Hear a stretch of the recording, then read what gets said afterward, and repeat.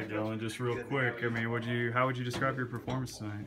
Um, I'd say it was okay. I don't actually know the stats yet right now, but I do think the offense as a whole really meshed after the first quarter when we recovered from everything that was going on. Uh, we dug a hole, but we climbed out of it and we came out with a win. So if that speaks for something, I think the offense as a whole did pretty well tonight, if you exclude the first quarter. What was the key to you know knowing you're down 14-0, uh, like the blink of an eye? What was the key to coming back? Uh, keeping your compo- uh, keeping our composure.